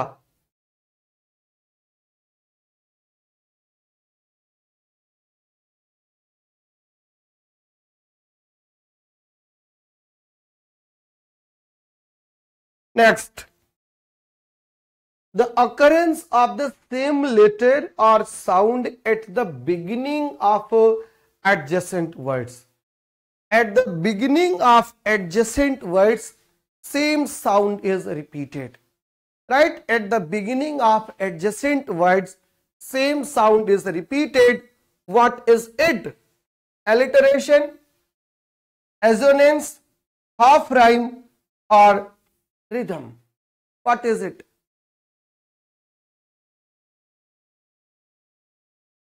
the occurrence of the same letter at the beginning of adjacent words, it is called alliteration. Answer is A. Ramesh जी को good afternoon अभी evening नहीं हुआ भाई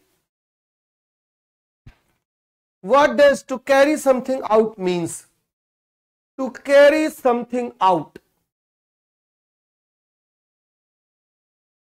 to carry something out means to do something, to bear something, to continue doing something, to delay something.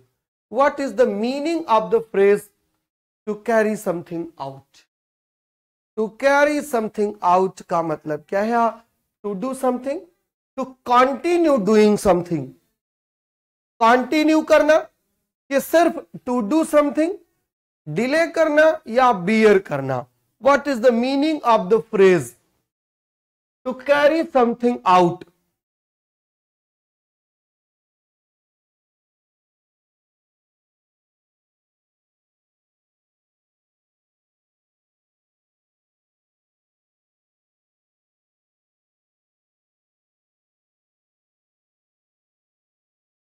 to carry something out.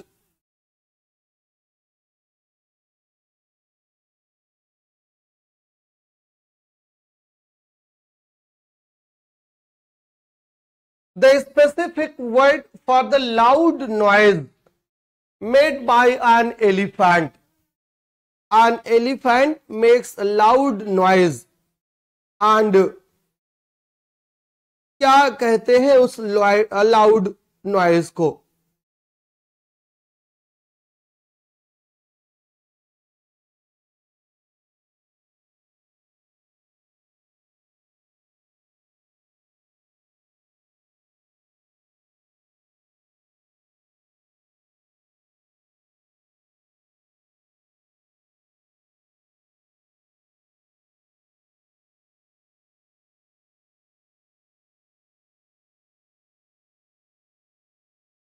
Sabash. It is called trumpet. Very good.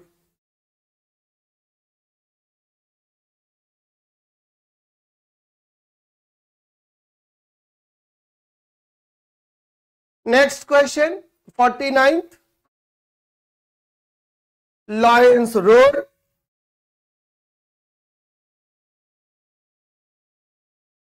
The word camaraderie means? Camaraderie is the word. And what does the word camaraderie means? Feeling of envy, feeling of anger, feeling of friendship, feeling of enmity. Camaraderie.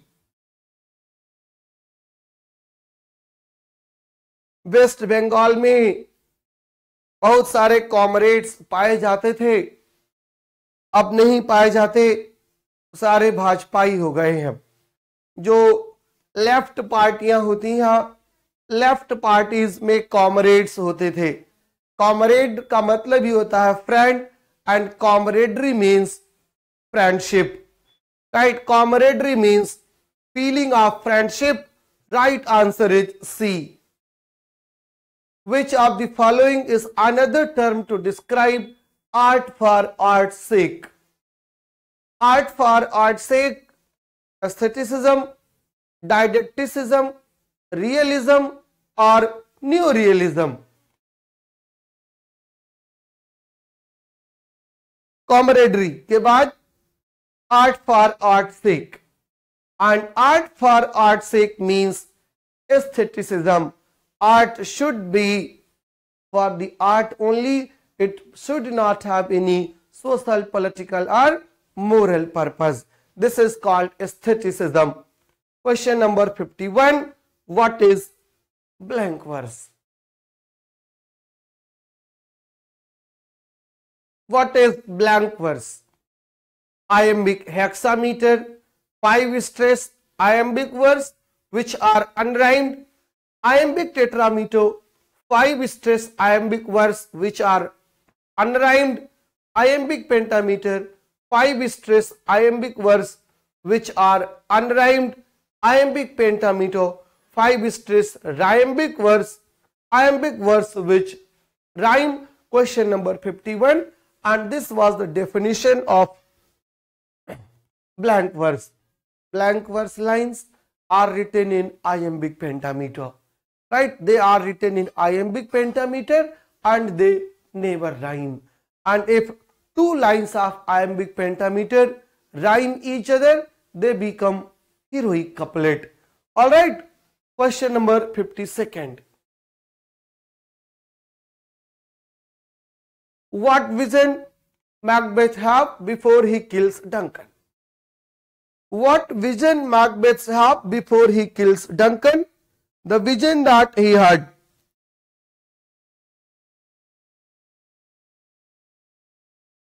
What vision does Macbeth have before he kills Duncan?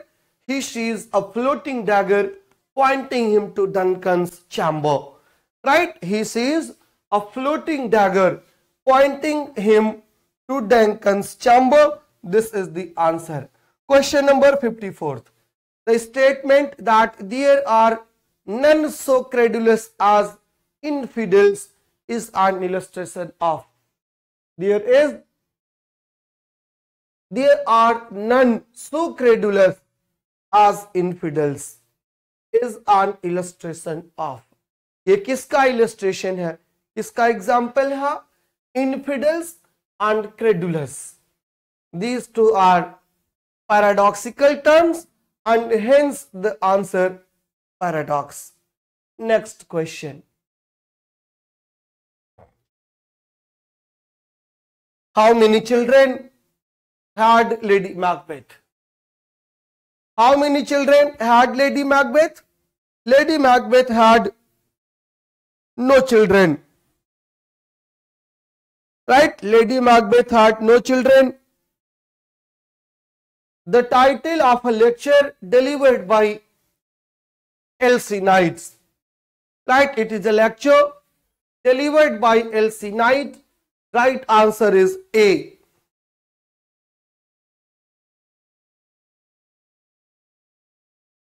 Saturn's palace in head. Saturn. Saturn's palace in hell was called? What was the name of the palace where Satan lived in hell? Palace का नाम क्या था? Hello में जो था, inferno, पैराडिजो, परगेटेरियो और Pandemonium. Yes it was Pandemonium where Mister Satan lived along with other fallen angels and now a question for your assignment who constructed Pandemonium Pandemonium construct किसने किया था? बनाया किसने था? पैंडिमोनियम को। Who constructed Pandemonium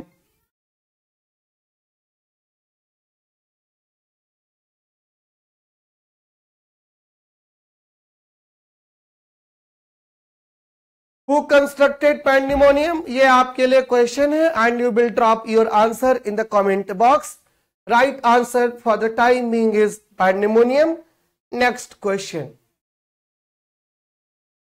spot the correct passive form of the following sentence correct passive form of the following sentence they asked me my name they asked me my name passive बनाना है. My name was asked me by them. I was asked my name. Me was asked my name. My name was asked from me by them. Which one is the correct passive form? No, Archak, Saturn didn't build the place.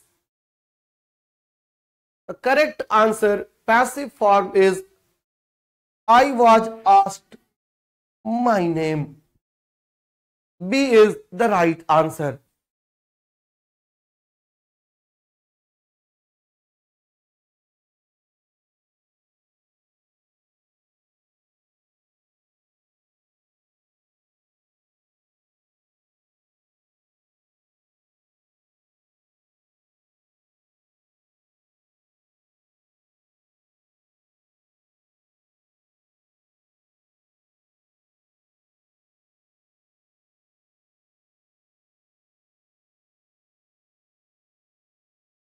To deal in something means.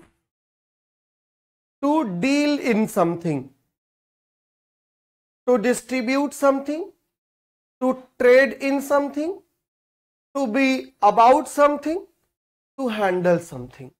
There are three phrases. Deal in, deal with,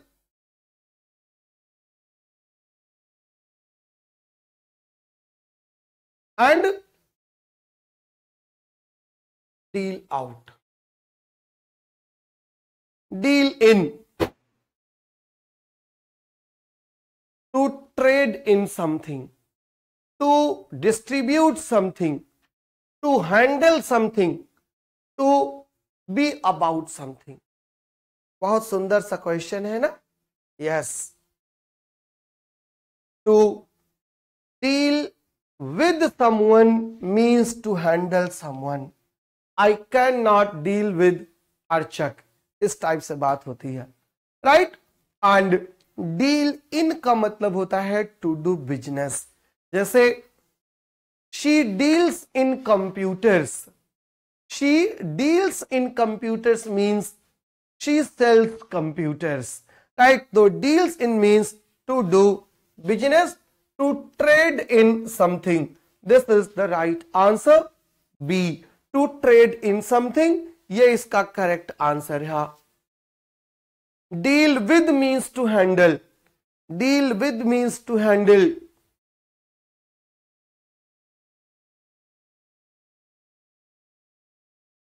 The family Shakespeare was written by. The family Shakespeare was written by Mary Charles Thomas A.S. Batt, who wrote Family Shakespeare. The Family Shakespeare was written by whom?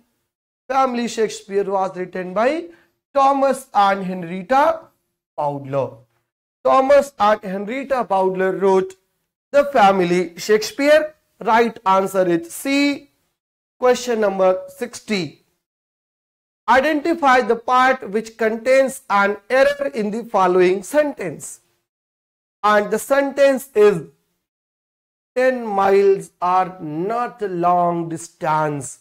Which one is incorrect? 10 miles are not a long distance or there is no error. फटाफट answer बताइए। You are now getting bored ना, बहुत देर हो गई। Around two hours तो हो गया ना?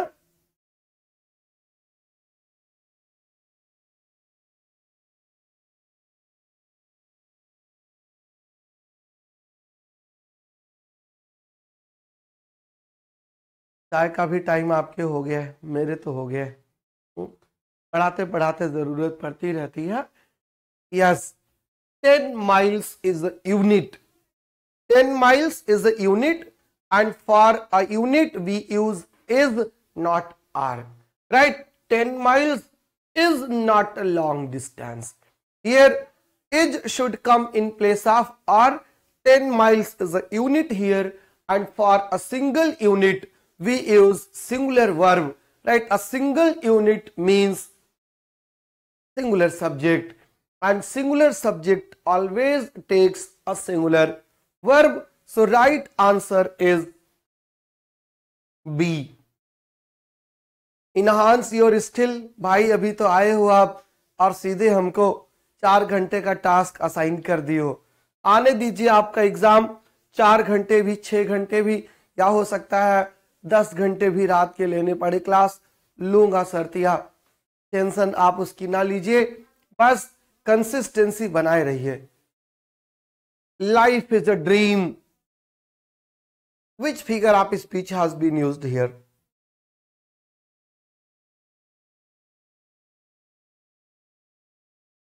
life is a dream कौन सा फिगर ऑफ़ स्पीच यहाँ पर यूज़ किया गया है?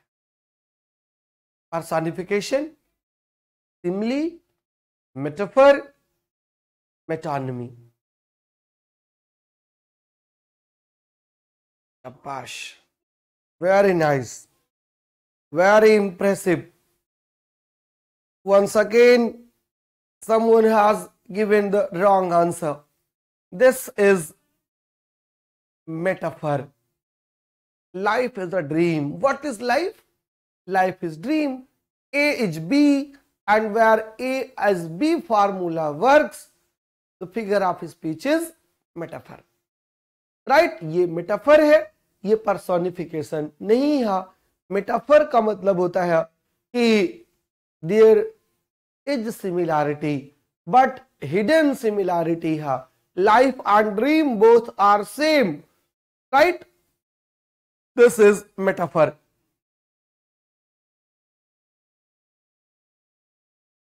next question.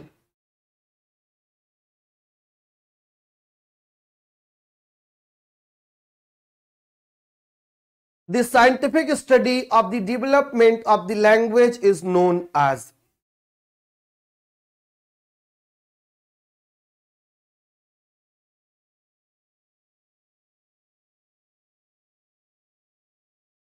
The scientific study of the development of the language is known as morphology, bibliography, planetology or philology.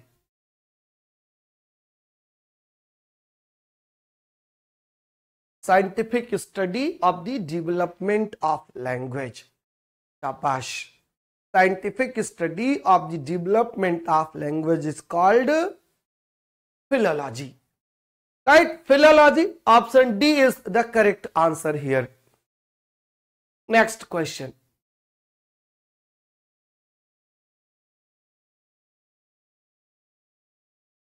An Alexandrine is the last line of the. An Alexandrine is the last line of the Ottawa rima, in Spenserian stanza, rhyme royal or terza rima. the last line of Alexandrine, eight lines in iambic pentameter and last line in iambic hexameter and that is Spenserian stanza right answer to the question is A right A is the right sorry right answer is B देखिए, मैंने भी किसी का देख करके, अर्चक का देख करके गलत आंसर कर दिए थे ना?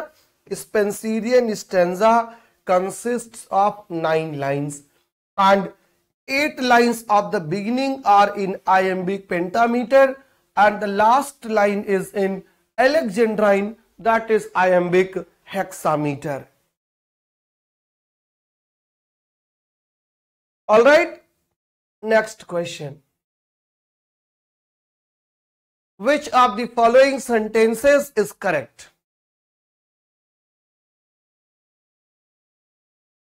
out of the four, only one is correct, three are incorrect. You have to find the odd one out.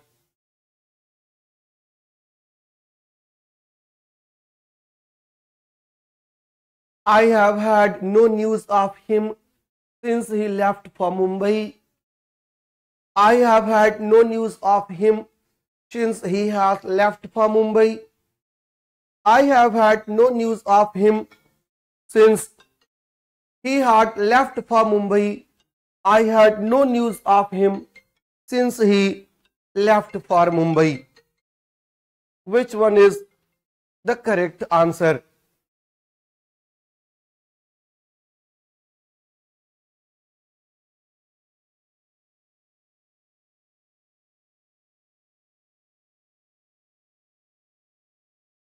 Right answer is which one right answer to the question is a i have had no news of him since he left for mumbai since is a conjunction और since के बाद हमेशा simple past का प्रयोग होता है since के बाद हमेशा सिंपल पास्ट का प्रयोग होता है। यहाँ पे प्रेजेंट का कर दिया है, यहाँ पे पास्ट परफेक्ट का कर दिया है राइट और सिंस के जो पहले वाला होता है, वो प्रेजेंट के परफेक्ट का होता है। इसलिए आंसर यहाँ पर ए करेक्ट है। Right question number sixty fifth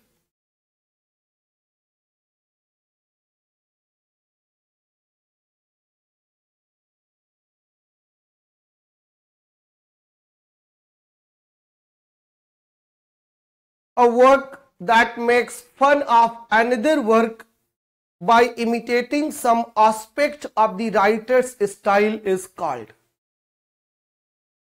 A work that makes fun of another work. दूसरे वर्क का फन करता है by imitating some aspect of the writer's style and in this way it imitates some aspects of the writer's style and what it is called it is called parody right? It is called parody right option is c. C is the right option here. And i hope this is the last question of today's class.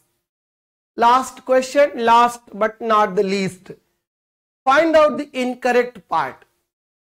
After newton has observed an apple fall to the ground, he formulated the law of gravity. Right? After Newton has observed an apple fall to the ground, he formulated the law of gravity. Where is the error? Has observed fall the or gravity? Where is the problem. One twenty four question please Archak, सड़े हुए question में भी आपको इतना interest आ रहा है? हा? सड़े हुए क्वेश्चन में इतना इंटरेस्ट आ रहा है? फिर तो अच्छे वाले क्वेश्चन होंगे, फिर क्या होगा? Have you ever imagined right answer is fall okay not fall but the right answer is A. After Newton observed an apple fall, he formulated the theory of gravity. This sentence is in the past. Right? This sentence is in the past and ye have past the second form formulated started simple past past indefinite. Two things happened. One first and the second. एक पहले और एक बाद में. तो जो पहले वाला हुआ था ना, उसको पास्ट परफेक्ट बोला जाता है। है ना? उसको पास्ट परफेक्ट बोला जाता है। तो after Newton had observed an apple fall he formulated the law of gravity so right answer is A. Right? A is the right answer. Oh, one more. Don't go, uh, don't get off the train until it. Here, dash लगा है option भरना है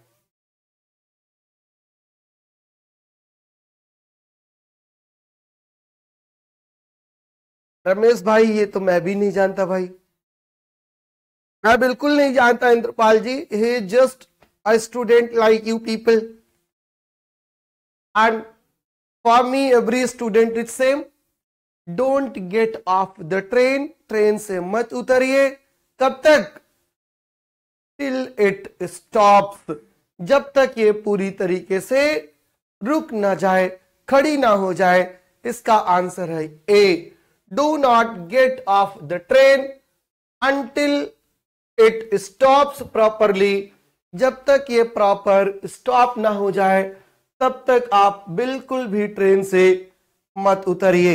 All right thank you so much for being with me for joining the class मिलते हैं very soon very soon after a week bye then you will be getting the videos आपको video मिलता रहेगा, देखते रहिएगा right? Enjoy करते रहिएगा। Session में मिलेंगे नेक्स्ट संडे को। बाय देन गुड बाय ये एक एजम्पन है। देखते हैं क्या होता है, प्लान है ये। क्लियर? चलो, bye bye, take care, all the best, good luck.